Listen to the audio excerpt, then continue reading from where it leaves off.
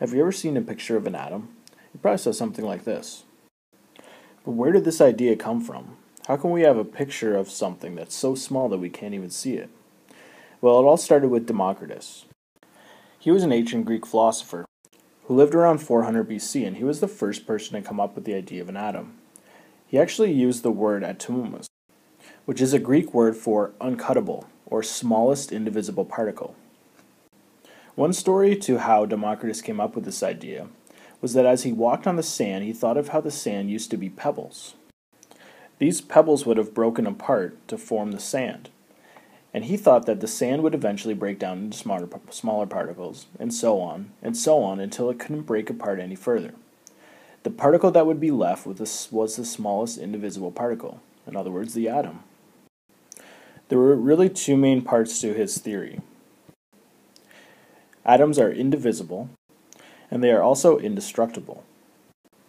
Democritus was far ahead of his time, but his idea lacked experimental evidence and was simply based on reason. At the same time Democritus lived, there was another popular idea to what matter was made of. This idea was proposed by Aristotle. Aristotle was another ancient Greek philosopher who lived around the same time as Democritus.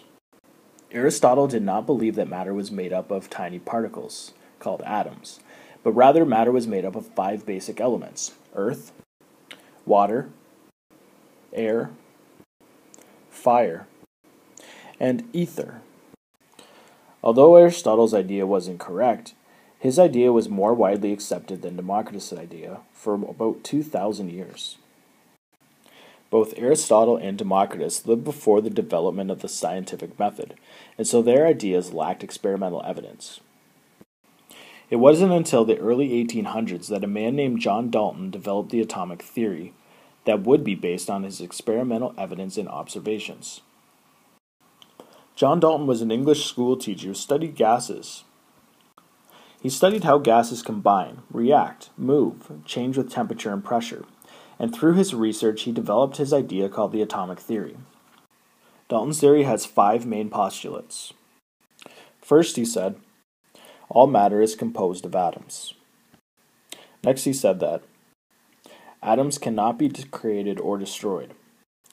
His third postulate is all atoms of the same element are identical, and so different elements have different types of atoms. Next, he said that chemical reactions occur when atoms are rearranged. And finally, he said, compounds are formed by the combination of two or more different kinds of atoms. There was a lot that Dalton didn't know about atoms. However, his theory is still useful as the basis for the modern atomic theory. Dalton's idea that atoms are indivisible was held to be true for almost the next 100 years, until the work of J.J. Thomson. He was another English scientist who worked in the late 1800s. Thomson discovered that the atom could be divided, and he discovered a negatively charged part of the atom called the electron.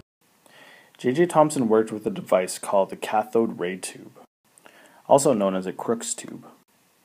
This device was a sealed glass container that has two electrodes separated by a vacuum.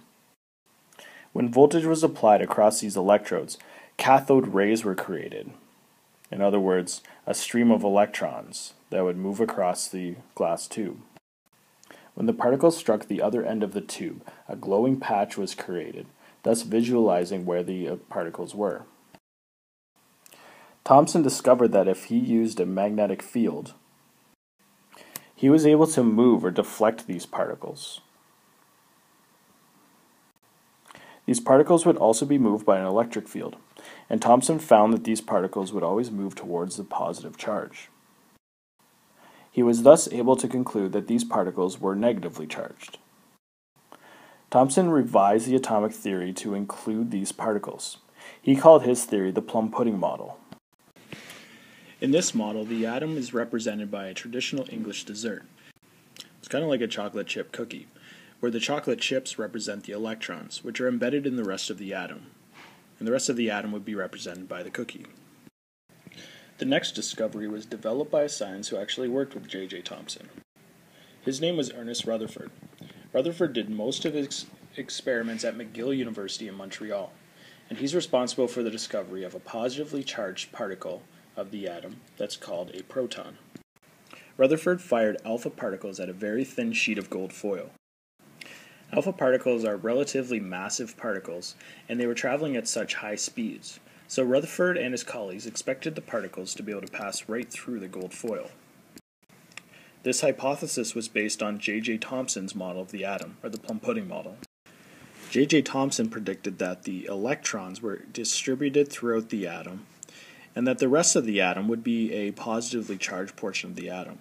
Since the positive charge was distributed throughout the atom, they didn't think there would be much interference for the alpha particles. And so Rutherford and his colleagues believed the alpha particles would simply pass right through the atom, and they would be detected on a screen on the other side. This was not the case. To Rutherford's surprise, he found that some of the particles scattered, and some even deflected almost right backwards. J.J. Thomson's model of the atom had to be adjusted in order to fit the new evidence. Rutherford and his colleagues believed that there must be a very massive particle directly in the center of the atom, and this particle must be positively charged. They also believed that the electrons, rather than being embedded within the atom, were actually circling around the outside of this central particle. And so the atom was mostly empty space. Rutherford was given credit for these two discoveries.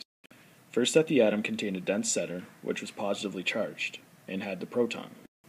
And secondly, that the atom was made up of mostly empty space. The next discovery resulted from the research of Niels Bohr. Bohr is responsible in large part for the transition to the modern view of the, of the atom.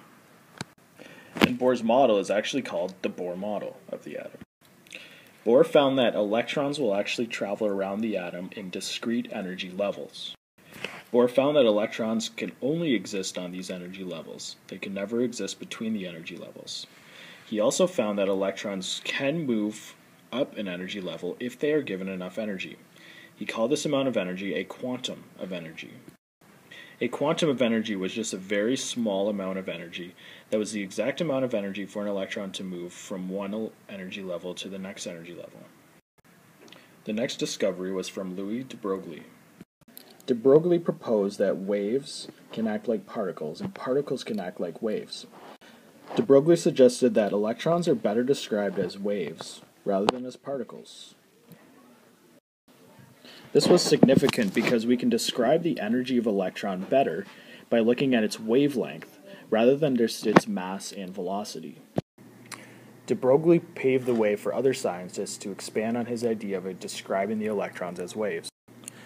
Werner Heisenberg proposed that one of the implications of electrons behaving like waves is that you cannot know both the speed and position of electron at the same time. This is called the Heisenberg uncertainty principle. Erwin Schrödinger developed a mathematical equation to show where electrons are located around the central nucleus of an atom. Since electrons behave like waves, and we cannot know precisely where they are located, like Heisenberg has told us, we cannot pinpoint the electrons to specific rings like in the Bohr model. Schrödinger showed us with his wave equation that we can only know regions of probability of finding an electron. And we call this the electron cloud model. Finally, there was James Chadwick. Chadwick was responsible for the discovery of the neutron. We now know that the neutrons are located in the nucleus of the atom along with the protons. And thanks to the work of the other scientists, we know the electrons are found around the nucleus in an electron cloud. And that's the atom.